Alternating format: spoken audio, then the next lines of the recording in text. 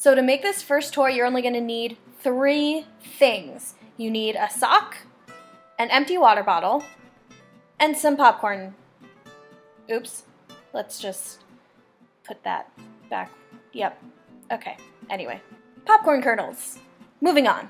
So, next you're going to take your water bottle, make sure it's clean and empty, take that paper off the outside, and you're just going to fill it up with some of the popcorn kernels.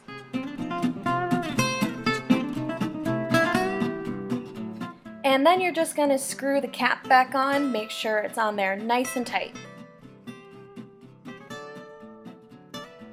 Then all you're to do is take your sock, again make sure it's clean, and you're to shove the water bottle down into the sock.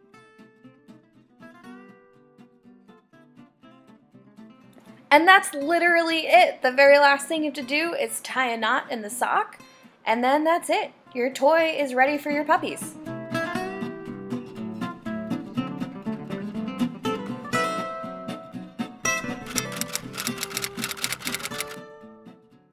Make this next toy, you are also going to need another sock, a couple of tennis balls, pet safe of course, and depending on the size of the sock, you can use as many tennis balls as you want. And then all you're going to do is take your tennis ball and shove it down into the bottom of your sock there. And then you're going to tie a knot right at the top of the ball.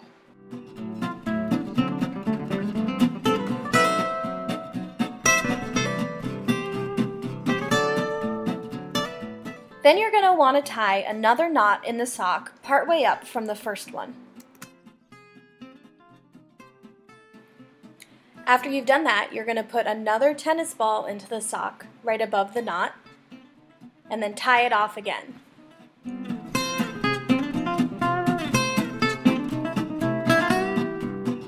And there you have it, a super quick, super easy tug toy. I made a smaller one for the mutt butts, Let's see what they think of these toys.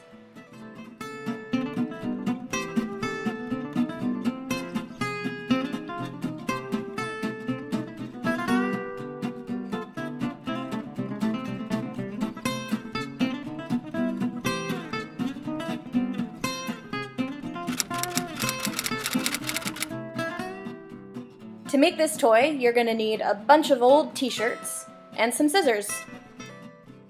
So then you're just going to cut your t-shirts into strips that are an appropriate size for your dog.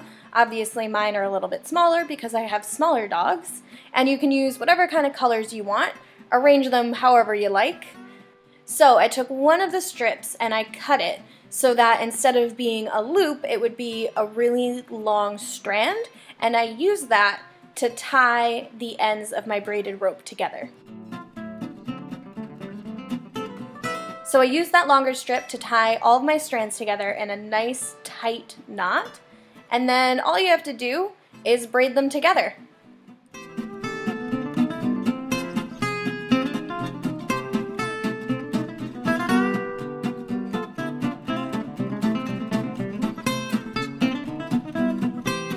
So once I was done braiding, I took that longer strip again and used it to tie the other end of the toy together. Again, nice and tight.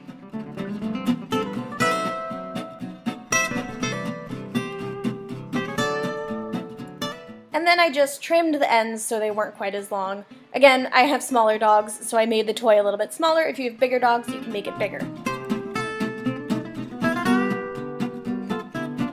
And there you have it, a nice braided tug toy. Let's see if Finley and Scarlet like this one.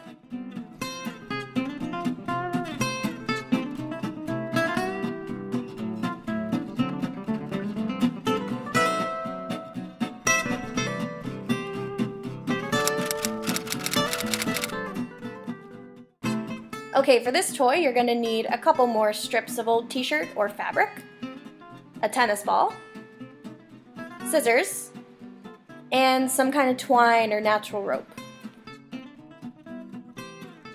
So you're gonna take your loops of old t-shirt and cut them into long strips, and you're gonna wanna make sure that you're using strips of fabric or t-shirt that are wide enough to completely cover the size ball that you're using. So then you're gonna lay your strips out in a cross shape and put the ball right in the middle and then fold the two strips over each other so that the ball is completely covered.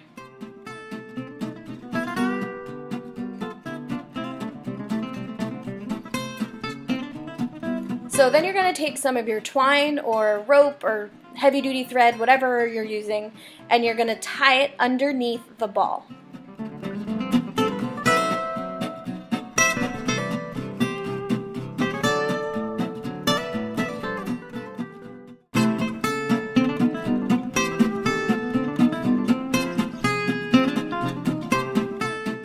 Then you just trim the ends of your twine, rope, thread, whatever you're using, so that it's nice and snug up against the underside of the ball. And then you're just going to cut the strips into smaller pieces. Um, depending on the size, the width of the strips that you're using, you can cut them in half or you can cut them in thirds.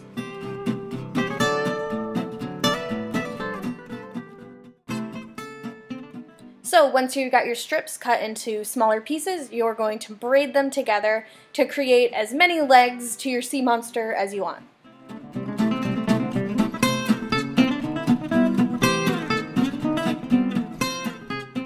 And this is what mine looked like when I was all done.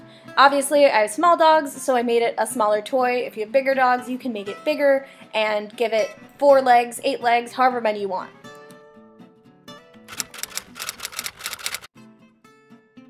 For our last toy, you're going to need some more strips of t-shirt or fabric, scissors, a tennis ball, and some kind of knife or maybe a drill to make a hole in the tennis ball.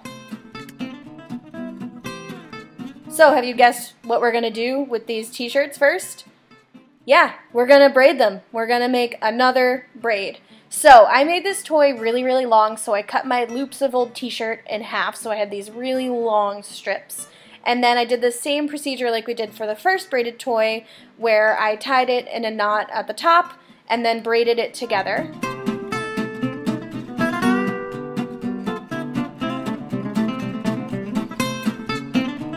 Until it looked like this. So you see that seam on the tennis ball there? You do not want to make a hole there because the ball might just break in half. So take your knife or drill or whatever you're using and you're going to want to make two holes right across from each other on the top and bottom of the tennis ball.